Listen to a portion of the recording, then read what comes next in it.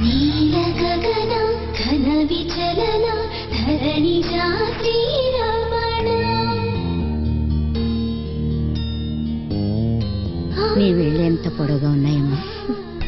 చాలా అదృష్టవంతురాలు అమ్మా. గొర్రెంటి కడతానక్క వద్దులే చిన్న. పర్లేదు పెట్టుకో అక్క. సరే. మీకు బాగా ఆస్తులున్నాయా అమ్మా? మామగారు కులం గురించి ఆస్తుల గురించి ఎందుకు అడుగుతున్నారు? నీకు పట్టింపులున్నాయా? అదేం లేదమ్మా. అంతస్తు కులవని అది నా మనవడికి దూరం అయింది నీ మీద నాకు చిన్న ఆశ కలిగింది. అలా ఆశ పడొచ్చో లేదో తెలుసుకుందామని. మీకు పట్టింపులేమైనా ఉన్నాయేమో ముందే తెలుసుకుందామని. వీడికన్నీ వాళ్ళ నాన్న బుద్ధిలే వచ్చాయమ్మా. అందుకే వాడు రాజకీయాల్లోకి వెళతానంటే నేను ఆపను. రాజీ పోతుందని నాకు బెంగలేదు ఎందుకంటే వాడు బంగారం.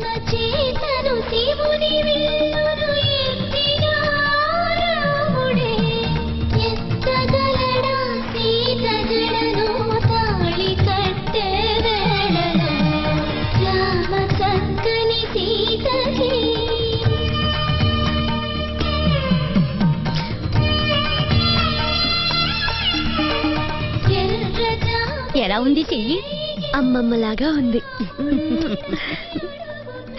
ఏ రాముడు మీ అమ్మమ్మ నాకు ఇచ్చేయి. ఆ చుక్కలన్నీ నీకు ఇచ్చేస్తా. నేనిస్తా. అంతకన్నా ఎక్కువ చుక్కలు. ఇట్రా. వెళ్ళు.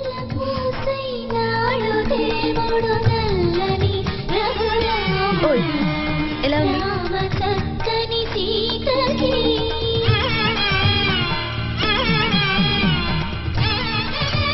మళ్ళీ చీర కట్టుకున్నావేంటి?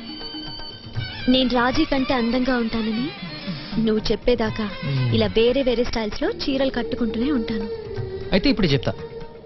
అట్లా కాదు? సీతామహాలక్ష్మిని నువ్వు ఫూల్ చేయలేవు. ఆ రోజు రాజీని చూసి ఒక లుక్ ఇచ్చావే. అది నాకు తెలుసమ్మా. అయితే ఇప్పుడు ఇస్తా.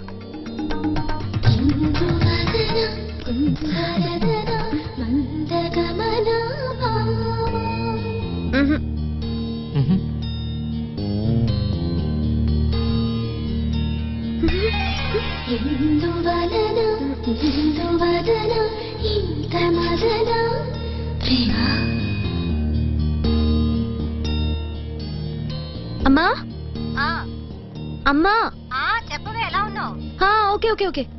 అమ్మా సపోజ్ గోదావరిలో నాకు అబ్బాయి నచ్చాడు అనుకో ఓకేనా? ఏమంటావ్? తాట తీస్తాను. జాగ్రత్త వాళ్ళది మనకులమేనా?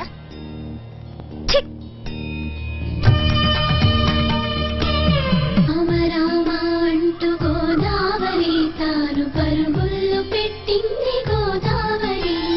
రామ రామ అంటూ గోదావరి తాను పరుగుళ్ళు పెట్టింది గోదావరి.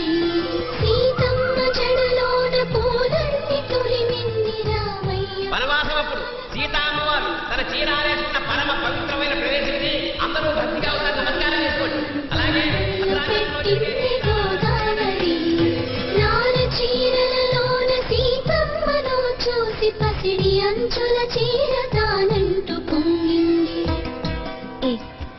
నేను చేయనా?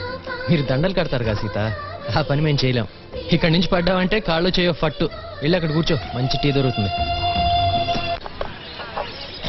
రండమ్మా.